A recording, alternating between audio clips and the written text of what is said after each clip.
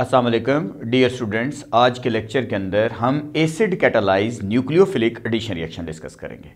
इससे पहले हम base catalyse nucleophilic addition reaction discuss कर रहे थे, वो मोस्ट इंपॉर्टेंट थे, और उसमें बेसिकली आपने पाँच बेस कैटालाइज रिएक्शन पढ़े। एक addition of hydrogen cyanide addition of Grignard reagent addition of sodium bisulphite फिर कंडेंसेशन रिएक्शन जिसमें एक एल्डोल कंडेंसेशन और एक कैनिजेरो रिएक्शन ये चौथा रिएक्शन था ओवरऑल कंडेंसेशन की दो टाइप्स थी एल्डोल और कैनिजेरो और फिर हमने बच्चों नेक्स्ट लेक्चर के अंदर हेलो फॉर्म रिएक्शन पढ़ा था। तो आज के लेक्चर के अंदर हम बेसिकली एडिशन इसके अंदर जो है acid catalyse nucleophilic addition reaction पढ़ रहे हैं। और बच्चों, इसमें एक तो हम आज के लेक्चर में जनरल मैकेनिज्म करेंगे और एसिड कैटालाइज रिएक्शन टोटल हमारे पास तीन है बेटा। ठीक है? और वो जो तीन हैं, उनमें से दो आज मैं पढ़ाऊँगा, क्योंकि लेक्चर बहुत लेंथी हो जाता है तो इसलिए एक तो जनरल मैकेनिज्म कराऊँगा, साथ ही मैं आपको एक पोलीमराइजेशन ऑफ़ एल्डिहाइड कराऊँगा, और एक addition of alcohol to aldehyde कराऊँगा। एडिशन ऑफ़ अमोनिया डेरिवेटिव वो हम नेक्स्ट लेक्चर के अंदर हम करेंगे, ताकि आप लोग आसानी से उस लेक्चर को देख सकें। बच्चों, जो ऑर्गेनिक पढ़ रहे हैं, और मेरे साथ साथ लोग नोट्स भी बना रहे होते हैं लिख भी रहे होते हैं। तो बच्चों, जब आप इस ऑर्गेनिक को याद करना शुरू करें तो याद रखें, जब आप इसको याद करें तो याद करके लिखने की प्रैक्टिस करें। थ्योरी बेशक अगर आप टाइम नहीं मैनेज कर पा रहे तो थ्योरी बेशक उन दिनों ना लिखें। लेकिन आप इसके रिएक्शन जब आप याद कर लें तो एक दफ़ा रफ रजिस्टर पे या किसी रजिस्टर पे ज़रूर प्रैक्टिस करें। नहीं तो अदरवाइज़ कॉलेज के टेस्ट में या फेडरल बोर्ड के पेपर में आपको प्रॉब्लम ये आता है कि आप लोग वहाँ पे जाके रिएक्शन भूल जाते हैं।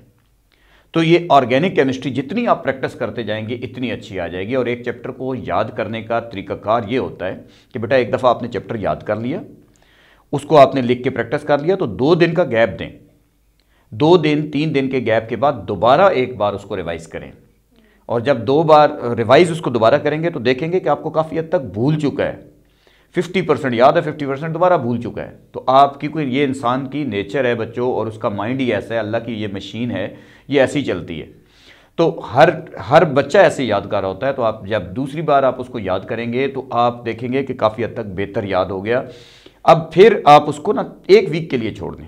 एक वीक के बाद फिर किसी वक्त टाइम मिले तो उसको रिवाइज करें। इन फेडरल बोर्ड के पेपर तक या आपके एनुअल एग्ज़ाम जो भी हो रहे हैं, उस तक आपको ये जो टॉपिक है या वो चीज़ है, वो आपको नहीं भूलेगी। तो थोड़ा सा आप चीज़ों को फॉलो करते हुए इस तरीके से प्रोसीड करें। तो बच्चों, हम अपना लेक्चर स्टार्ट करते हैं। हमारे पास लेक्चर में acid catalyse nucleophilic addition reactions of aldehydes and ketone है और general mechanism of acid catalyse reaction ये टू स्टेप मैकेनिज्म है। हमारे पास step number one step number one क्या होता है कि जो भी हमारे पास कार्बोनाइल कंपाउंड होता है, आपको पता है carbonyl compound aldehydes and ketones को कहते हैं। तो उसकी सबसे पहले प्रोटोनेशन हो जाती है। प्रोटोनेशन का मतलब है प्रोटॉन अटैक करता है। तो ये हमारे पास एल्डिहाइड या कीटोन, उनको जनरल फॉर्म में हम ऐसे रिप्रेजेंट करते हैं। अगर हम कीटोन की बात करें, दोनों साइड पे अल्काइल ग्रुप लगाते हैं। अगर हम एल्डिहाइड की बात करें तो हो सकता है कि दोनों साइड पे हाइड्रोजन लगाएँ, जैसे फॉर्मेल्डिहाइड है, और हो सकता है कि एक साइड पे अल्काइल ग्रुप और एक साइड पे मस्ट है कि हाइड्रोजन हो। अब इस पे चार्ज पार्शली पॉजिटिव इस पे charge partially negative H positive जो एसिड से आ रहा होता है, क्योंकि एसिड कैटलाइज रिएक्शन है एरो की डायरेक्शन इलेक्ट्रॉन रिच से इलेक्ट्रॉन डेफिशिएंट की तरफ़ होती है, ये मैकेनिज्म में हम बना रहे होते हैं। और आपके पास इस जगह पे जब भी कोई चीज़ एक फालतू बॉन्ड बनाती है, जैसे ऑक्सीजन ने एक लोन पेयर यूज़ करके बॉन्ड बनाया, यहाँ एक कोऑर्डिनेट कोवलेंट बॉन्ड बनता है, ये कोऑर्डिनेट कोवलेंट बॉन्ड बना है, इसलिए इस पर पॉजिटिव आ जाता है। लेकिन इसी स्टेप में, क्योंकि ऑक्सीजन मोर इलेक्ट्रोनेगेटिव होता है और पाई बॉन्ड वीक होता है ऑक्सीजन मोर इलेक्ट्रोनेगेटिव है और पाई बॉन्ड वीक होता है तो इसलिए ये इलेक्ट्रॉन अपनी तरफ़ खींच लेता है। ये जब ऑक्सीजन इलेक्ट्रॉन अपनी तरफ़ खींचेगा तो ये पाई बॉन्ड वीक है, ये टूट जाएगा। जब इलेक्ट्रॉन इस कार्बन से ऑक्सीजन की तरफ़ मूव करेंगे तो ऑक्सीजन को तो लोन पेयर मिल गया। लेकिन जो कार्बन है, इसके ऊपर पॉजिटिव चार्ज आ जाएगा। तो यहाँ पे आ जाएगा ओ इस जगह पे एच इस जगह पे आ जाएगा पॉजिटिव तो याद रखें बच्चों मैंने शायद जब बेस कैटलाइज मैकेनिज्म पढ़ाया था तो वहाँ एक नीचे लाइन लिखी थी जो मल्टीपल चॉइस के लिए कि जब base as a catalyst use करते हैं तो वो क्या करता है? रिएजेंट का न्यूक्लियोफिलिक करेक्टर बढ़ाता है। लेकिन आज हम पढ़े एसिड कैटालाइज जब हम acid as a catalyst use करते हैं तो ये क्या करता है? जो कार्बोनाइल कार्बन है, उसका इलेक्ट्रोफिलिक करेक्टर इंक्रीज करता है। ठीक है? तो इसके नीचे एक लाइन याद कर लें। When base is when acid is used as a catalyst क्योंकि बेस की हम बात तो बच्चों base general mechanism base catalyse में कर चुके हैं। When acid is used as a catalyst acid is used as catalyst.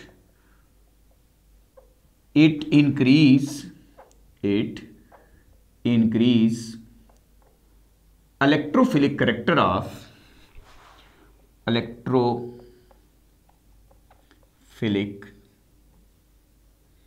character of carbonyl carbon carbonyl carbon ये लाइन आपको मल्टीपल चॉइस में बच्चों काम आती है कि जब हम acid as a catalyst use करते हैं तो रिएक्शन आसान क्यों हो जाता है? यानी एल्डिहाइड और कीटोन के जब भी रिएक्शन होते हैं, या acid as a catalyst use होता है, या base as a catalyst use होता है, क्योंकि इसके बगैर कार्बोनाइल कार्बन पे अटैक मुश्किल होता है। तो इसलिए हमारे पास जब acid as a catalyst use करते हैं तो ये electrophilic character of carbonyl carbon बढ़ा देता है, जिससे कार्बन कंप्लीटली पॉजिटिव हो जाता है। देखो, पहले पार्शली था, अब कंप्लीटली पॉजिटिव बन गया मोर इलेक्ट्रोफिलिक बन गया। स्टेप नंबर टू क्या होगा? स्टेप नंबर टू ये होता है कि हमारे पास बच्चों, जो जो भी न्यूक्लियोफाइल होगा, जो भी न्यूक्लियोफाइल होगा, जिस न्यूक्लियोफाइल को हम आमतौर पर एन यू से नहीं नोट कर रहे होते हैं, ये न्यूक्लियोफाइल है। वो कार्बोनाइल कार्बन के ऊपर अटैक कर देगा। ये देखो, कार्बोनाइल कार्बन उसी तरीके से मैंने उसको बना दी है। इस पे चार्ज पॉजिटिव है। ये इसके ऊपर अटैक करेगा। जैसे ही इसके ऊपर अटैक करता है तो बच्चों, यहाँ पे लाजमी बात है बॉन्ड ऑलरेडी ब्रेक ब्रेक हो चुका है तो इसके साथ ये अटैच हो जाएगा। यहाँ बॉन्ड लगा देंगे, या जो भी ग्रुप लगे होंगे, इस जगह पे आ जाएगा ओ इस जगह पे एच और यहाँ पे न्यूक्लियोफाइल इसके साथ अटैच हो जाएगा। तो ये जनरल मैकेनिज्म हो गया। अगर मैं कीटोन की बात करूँ तो यहाँ आर आर लगा दें, एल्डिहाइड की बात करूँ, एक साइड पे अल्काइल ग्रुप, एक साइड पे हाइड्रोजन लगा दें। अब हमारे पास बेस कैटालाइज रिएक्शन टोटल हैं कितने बच्चों? तो there are three base catalyse reaction. There are three base catalyse reaction. एक हमारे पास जो बेस कैटालाइज रिएक्शन होगा, जो हम पढ़ेंगे, और वो हमारे पास ये होगा, polymerisation of aldehyde. Polymerisation of aldehyde एक तो हम एल्डिहाइड की पोलीमराइजेशन पढ़ेंगे। ठीक है? आज ही के लेक्चर में ये भी हम डिस्कस कर रहे हैं। पोलीमराइजेशन ऑफ़ एल्डिहाइड्स सेकंड हम पढ़ेंगे addition of alcohol to aldehyde addition of alcohol to aldehyde ये हम पढ़ेंगे आज के लेक्चर में। तीसरा हमारे पास रिएक्शन होता है एडिशन ऑफ़ अमोनिया डेरिवेटिव ये हम नेक्स्ट लेक्चर में कवर करेंगे बेटा। एडिशन ऑफ़ अमोनिया डेरिवेटिव ये काफ़ी इंपॉर्टेंट क्वेश्चन होता है। एडिशन ऑफ़ अमोनिया डेरिवेटिव इसलिए मैंने इसको अलग लेक्चर में लिख दिया है ताकि अलग से आप इसको देख सकें। एडिशन ऑफ़ अमोनिया डेरिवेटिव क्योंकि मुख्तलिफ़ तरीक़ों से फेडरल बोर्ड में क्वेश्चन घूम घूम के इसके ऊपर आते हैं। तो इन हम नेक्स्ट वीडियो के अंदर इसको भी देखते हैं। एडिशन ऑफ़ अमोनिया डेरिवेटिव बच्चों, अभी हम इसमें से पोलीमराइजेशन ऑफ़ एल्डिहाइड पढ़ने लगे हैं जी। ठीक है? Polymerisation of aldehyde polymerisation of aldehyde हमने पढ़ा हुआ है पोलीमराइजेशन क्या प्रोसेस होता है? एक ऐसा प्रोसेस जिसमें छोटे मालिक्यूल कंबाइन हो जाएँ और एक बड़ा मालिक्यूल बना दें, उसको हम पोलीमराइजेशन कहते हैं। ये डेफिनेशन चैप्टर 16 में मैंने लिखवाई है बुक ने दोबारा इसलिए नहीं लिखी कि बच्चों, आपको पता है कि इसकी डेफिनेशन है process in which different molecule combine with each other and form a new molecule या ऐसे कह सकते हैं process in which small molecule combine with each other and form large molecule is called polymer and this process is called polymerisation तो बच्चों, इस जगह पर डेफिनेशन बुक में नहीं है, ना हमें लिखने की ज़रूरत है, हमें जस्ट रिएक्शन लिखना है। अब बच्चों, मैं फॉर्म एल्डिहाइड को सिंपल तरीके से भी लिख सकता था, लेकिन मैं आपको फॉर्म एल्डिहाइड की पोलीमराइजेशन के लिए एक टेक्निक बता रहा हूँ। आप इसी तरीके से लिखेंगे तो आपको ज़रा आसानी होगी। ये फॉर्म एल्डिहाइड का एक मोल हो गया। बेटा, इसके तीन मालिक्यूल पोलीमराइज कराने हैं। दूसरा मालिक्यूल मैं ऐसे लिख देता हूँ। मैंने किस चीज़ को जहन में रखा हुआ है? Carbon, oxygen carbon, oxygen link है। ये दूसरे मोल को मैंने ऐसे अरेंज कर दिया है। ये साइक्लिक पोलीमराइजेशन करता है। तीसरा मालिक्यूल, देखो, उधर कार्बन ऑक्सीजन आ रहा है तो कार्बन ऐसे अरेंज कर देता हूँ। ये फॉर्म एल्डिहाइड है बेटा। फॉर्म एल्डिहाइड के तीन मालिक्यूल। इसको आप फॉर्म एल्डिहाइड भी कहते हो, मीथानल भी कहते हो। फॉर्म एल्डिहाइड या मीथानल। ये फॉर्म एल्डिहाइड कॉमन नेम है। इसी का IUPAC name methanal. A L R है बेटा। ओ एल अल्कोहल होते हैं ए एल है ये। मीथानल। अगर आप कहते हैं, सर, ये तो बहुत मुश्किल लग रहा है। तो बच्चों, आप ऐसे भी कर सकते हो, अगर लिखना चाहो तो ऐसे इकट्ठा करके भी लिख सकते हो। मैं यहाँ लिख देता हूँ H C double bond O इधर एच इसके शुरू में थ्री लगा दो। ऐसे भी लिख सकते हो। ऐसे करके लिखना चाहो तो लिख सकते हो, लेकिन बेहतर है कि ऐसे लिखो ताकि आपको चीज़ समझ भी आए।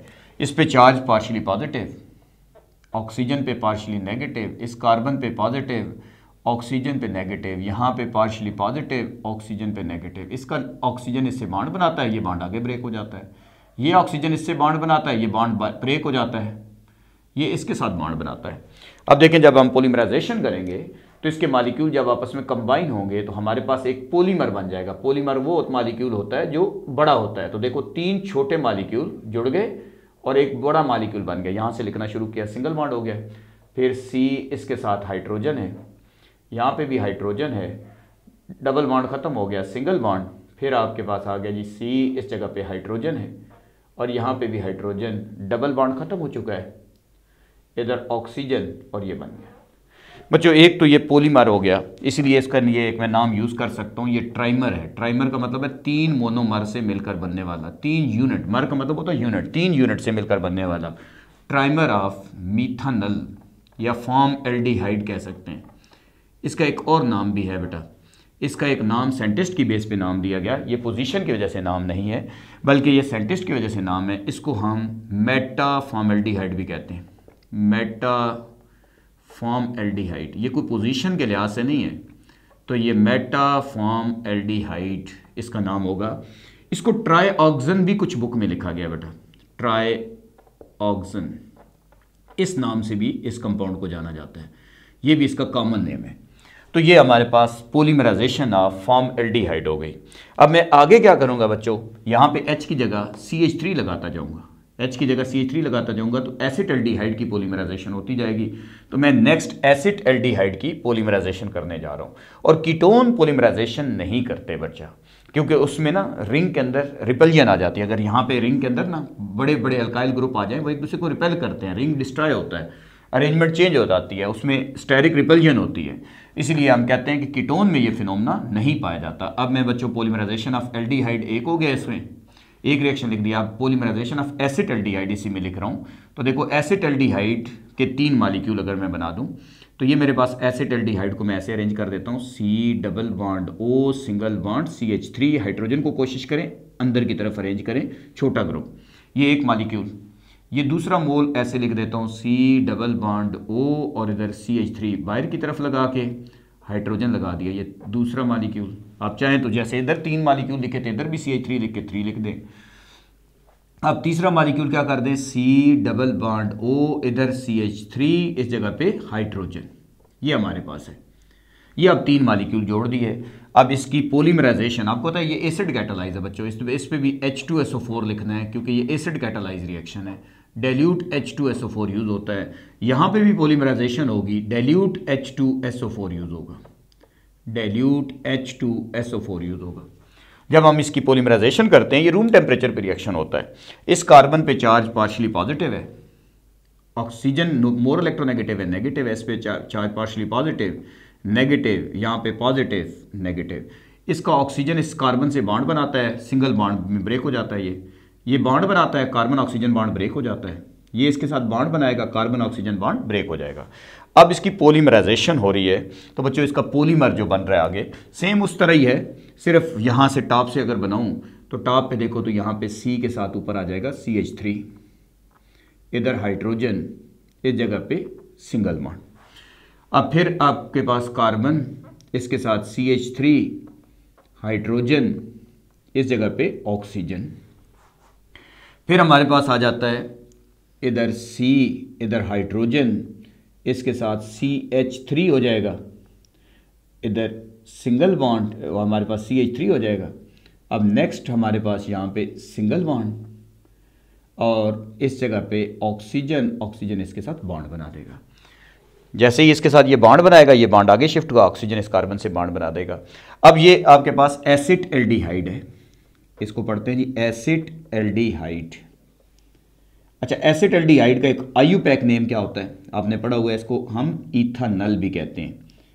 इथानल ये हो गया आयु नेम तो आपके पास यहाँ पे एक तो ट्राइमर बन गया। ट्राइमर का मतलब है तीन मोनोमर से मिलकर बनने वाला। Trimer of ethanal trimer of ethanal ये बन गया। ए एल लिखना है बच्चों, ये याद रखें। नज़र सही आ रहा है तो अच्छा है। अब हमारे पास दूसरा इसका नाम क्या है बच्चों? उसका नाम है मेटाफॉर्म इस प्रोडक्ट का नाम है पैरा एल्डिहाइड पैरा एल्डिहाइड अब पैरा एसिड एल्डिहाइड नहीं है ये बेटा. पैरा एल्डिहाइड है ये सिर्फ़. ये सेंटिस की बेस पे इसको कॉमन नाम दिया गया. अभी तक यही नाम चल रहा है. Acid catalyse reaction number one polymerisation वो आपके पास ख़त्म हो चुका है बच्चों. देखें, अब ये रिएक्शन तो मैंने पढ़ा दिया है. नेक्स्ट मैं ये पढ़ाऊँगा addition of alcohol to aldehyde और ये भी रिएक्शन अल्कोहल एल्डिहाइड देते हैं अल्कोहल के साथ। कीटोन अंडर सेम कंडीशन ये रिएक्शन नहीं देते, उनकी ड्रास्टिक कंडीशन होती हैं सख्त किस्म की कंडीशन होती हैं। तो बच्चों, इसको नोट करें, जल्दी से या इसका स्क्रीन शॉट लें ताकि मैं नेक्स्ट लिख सकूँ यहाँ पर चलें जी, उम्मीद है कि आपने लिख लिया है। या स्क्रीन शॉट ले लिया है। नेक्स्ट हमारे पास है। आप कोशिश करें बच्चों, जो चीज़ें आपके सामने लिखी जा रही होती है ना, ये कंप्लीट नोट्स होते हैं आपके। आपको पता है कि ऑर्गेनिक में तो कोई चीज़ छोड़ ही नहीं सकते रिएक्शन वगैरह, ये, वो। तो मेन इंपॉर्टेंस जो है ऑर्गेनिक के अंदर रिएक्शंस की होती है। तो इसलिए जिस बच्चे को रिएक्शन सही क्लियर है और कंडीशन ठीक हैं तो उसको थ्योरी ना भी लिखे तो कोई फ़र्क नहीं पड़ता।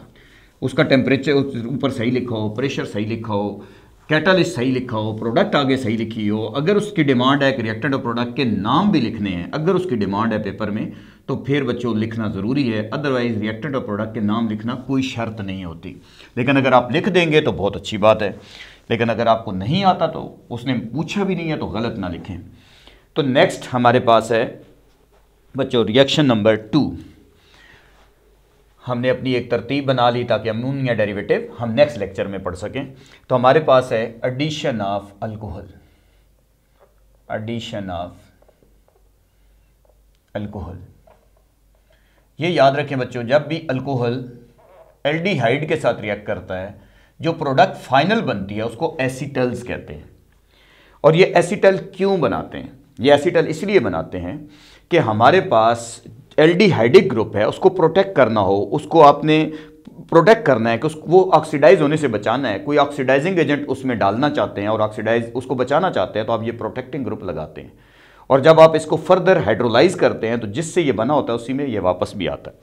जैसे अभी हम देखते हैं, हमारे पास है, एल्डिहाइड के साथ मैं रिएक्शन लिखने लगा हूँ। Addition of addition of alcohol aldehyde में ये आएगा जी C H three C double bond O इधर एच ये एक एल्डिहाइड है, ज़रूरी नहीं यही एल्डिहाइड यूज़ करें, कोई और भी यूज़ कर सकते हैं। C two H five O H इससे रिएक्शन करते हैं। ये एक रिवर्सिबल रिएक्शन होता है बेटा। एच सी एल गैस को एज ए कैटलिस्ट यूज़ किया जाता है इस रिएक्शन में। Hydrogen chloride gas as a catalyst use होती है। अब इस कार्बन के ऊपर चार्ज पार्शली पॉजिटिव ऑक्सीजन पे चार्ज पार्शली नेगेटिव इस ऑक्सीजन पे नेगेटिव हाइड्रोजन पे पॉजिटिव इसका ये वाला ऑक्सीजन इस कार्बन से बाड बनाता है, ये बाड आगे शिफ्ट होता है ओ पे नेगेटिव आता है, उसके साथ हाइड्रोजन अटैच हो जाता है। दरमियान में एक इंटरमीडिएट बनता है बेटा, वो इंटरमीडिएट बनाने जा रहा हूँ। दरमियान में एक इंटरमीडिएट बना C H three C O के साथ एच ये हाइड्रोजन इसके साथ आ जाता है। इधर आ जाता है जी O C two H five और इस जगह पे हाइड्रोजन मौजूद है। अभी क्योंकि रिएक्शन कंप्लीट नहीं हुआ, ना यहाँ रुकता है, इसलिए एक आधा एसिटल बना है। इसके लिए ये एक टर्मिनोलॉजी हेमी एसिटल का वर्ड यूज़ किया जाता है। अब जो फर्दर रिएक्शन जो है प्रोसीड होता है। Second mole of ethyl alcohol क्योंकि इसमें दो मोल ऑफ़ इथानोल या दो मोल ऑफ़ अल्कोहल यूज़ होते हैं। जो भी अल्कोहल आप यूज़ करेंगे, उसको दोबारा लिख रहा हूँ। O C two H five अब हमारे पास यहाँ पे हाइड्रोजन है। इस जगह पे C two H five O H इसका सेकेंड मोल इथेनॉल का। ओवरऑल आपको पता है L gas is use as a catalyst इसको हम एज ए कैटलिस्ट यूज़ करते हैं। अब इसके साथ ये कंबाइन हो जाता है। किसी भी मालिक्यूल से जैसे यहाँ से हाइड्रोजन निकाल दिया और इसके ओ OH से मिला दिया वाटर बन गया। अब बाकी इस पार्ट जो है उसके साथ जुड़ जाता है। एच और ओ OH मिलकर वाटर बनाएँगे प्रोडक्ट बन गई। सी एच थ्री सी इस जगह पे आ जाएगा O C two H five इस जगह पे भी आ जाएगा O C two H five इधर हाइड्रोजन जो एच और ओ एच हैं, ये मिलकर वाटर बना देंगे। इस प्रोडक्ट का ओवरऑल नेम जब भी कोई एल्डिहाइड अल्कोहल से रिएक्ट करे, उस प्रोडक्ट का नाम एसिटल होता है। इस वजह से नहीं कह रहा कि एसिट एल्डिहाइड यूज़ हो रहा था एसिटल है। जब भी कोई एल्डिहाइड अल्कोहल से रिएक्ट करेगा फाइनल जो प्रोडक्ट बनेगी, उसको हम एसीटल कहते हैं। आयु पैक नेम अगर दें तो बच्चों, इसकी नंबरिंग इस कार्बन से शुरू करनी होगी। इसका IUPAC name one carbon के ऊपर दो ग्रुप हैं तो इसका आयु पैक नेम होगा one one di ethoxy O C two H five को ईथोऑक्सी कहते हैं। One one di ethoxy ethane ये इनका आयु पैक नेम है। और अगर आप कहते हैं, सर, वो बुक वाला रिएक्शन तो बच्चों, उसने एक स्टेप में लिखा है। आप इसको, दोनों स्टेप को आप ऐड करें। आप बुक वाला रिएक्शन लाना चाहें तो ये वाला पार्ट जो है, आपको पता है, इस वाले पार्ट से कैंसिल हो जाता है। आपको समझाने के लिए, देखो, ये हमारे पास कैंसिल हो गया इंटरमीडिएट है। तो मेरे पास प्रोडक्ट क्या बन गई? प्रोडक्ट बुक में जैसे लिखी है, आप एक स्टेप में लिखना चाहें, लिख सकते हैं C H three C double bond O इधर हाइड्रोजन आप सी टू एच फाइव दो हो गए। तो आप two mole of C two H five O H use करें। ठीक है? अब जैसे ही H C L gas as a catalyst है। H C L gas as a catalyst अब आपके पास फाइनल प्रोडक्ट एसीटल बन गया जी सी एच थ्री सी इधर आ गया O C two H five इस जगह पे भी आ गया O C two H five hydrogen आ जाएगा। और बाई प्रोडक्ट में वाटर आ जाएगा। तो ये आप चाहें तो आप ओवरऑल रिएक्शन ऐसे भी कर सकते हैं। एक स्टेप में लिखना चाहें तो ऐसे भी लिख सकते हैं। ये ऊपर वाले ना लिखें, ये भी लिख सकते हैं। आपको पता है कि बच्चों, ये एसिटल, ये जो प्रोटेक्टिंग ग्रुप है, ये इसलिए यूज़ किया जाता है कि ये एल्डिहाइडिक ग्रुप को प्रोटेक्ट करता है। जैसे सपोज़ करें, मैं चाहता हूँ कि ये वाली साइड किसी तरीके से ऑक्सीडाइज हो जाए। इस वाली साइड को ऑक्सीडाइज ना हो। तो मैं क्या करूँगा, इसके ऊपर ये प्रोटेक्टिंग ग्रुप लगा के इस एल्डिहाइडिक ग्रुप को प्रोटेक्ट कर लूँगा और इस साइड वाली चेन को किसी भी ऑक्सीडाइजिंग एजेंट डाल के ऑक्सीडाइज कर लूँगा। और जहाँ मुझे फिर ज़रूरत पड़ेगा, बच्चों, उस, मैं इसमें क्या करूँगा, ये एसिटल को हाइड्रोलाइज करूँगा तो ये वो वाली साइड तो ऑक्सीडाइज हो चुकी है, इसको हाइड्रोलाइज करूँगा तो जिससे ये बना है, ये उसमें वापस भी आ जाएगा। तो basically acetal as a protecting group use होते हैं तो एक दो लाइनें लिख लें, ये आपको काम आती हैं बच्चों। तो मैं लिखने लगा हूँ these acetal are use as protecting group protecting group against against alkaline oxidising agent like K M N O four वगैरह या K two C R two O seven वगैरह बेसिक मीडियम है अल्कलाइन ऑक्सीडाइजिंग एजेंट ये line आपने याद करनी है बच्चों। कभी कभी आता है ना what is use of acetal तो ये लाइन बच्चा लिखता है these acetal are use as protecting group against alkaline oxidising agent यानी वो एल्डिहाइड ग्रुप को तो प्रोटेक्ट कर लेता है ऑक्सीडाइज होने से बचा लेता है, ये ऊपर लग जाता है। लेकिन साइड की चेन आप जब इंडस्ट्री में या किसी जगह काम कर रहे होते हैं तो साइड की चेन आप ऑक्सीडाइज जो करके साइड की चेन में कुछ चेंज ला सकते हैं। अदरवाइज़ आप ऑक्सीडाइजिंग एजेंट ऐसे डालेंगे तो ये एल्डिहाइड फ़ौरन ऑक्सीडाइज हो जाएगा। इसलिए साइड वाला ग्रुप फिर ऑक्सीडाइज नहीं हो पाता। अब इसकी हाइड्रोलाइसिस मैंने कहा कि ये वापस आ जाता है तो हाइड्रोलाइसिस करनी है। हाइड्रोलाइसिस आप चाहते हैं कि ये जो एसिटल बना है ये जिससे बना है, उसमें वापस भी आ जाए। तो इसकी हाइड्रोलाइसिस से ये जो हमारे पास ऑक्सीडाइजिंग ये जो एसिटल है, ये वापस अपने ही रिएक्टेंट में चला जाएगा। इस एसिटल को मैं दोबारा लिख रहा हूँ। देखो, अभी मैंने थोड़ी देर पहले एसिटल लिखा C H three C O C two H five इधर भी लिखूँगा जी O C two H five one one di ethoxyethane भी इसको बोला है मैंने। इसका रिएक्शन वाटर से कर दें हाइड्रोलाइसिस का मतलब होता है वाटर से रिएक्शन करना और वाटर का एच और ओ एच बॉन्ड ब्रेक होना। ये देखो आप, इसको एसिड कैटलाइज हाइड्रोलाइसिस होती है या बेसिक कैटलाइज होती है। अब इसमें क्या होता है कि हमारे पास ये वाला पार्ट इसका निकल जाता है। जब हम डेल्यूट एसिड के साथ इसको हीट करते हैं, ये क्या बन गया? C two H five O H एक मोल बन गया। अब ये वाला पार्ट इसके साथ जुड़ जाता है। ये इसके साथ जुड़ गया।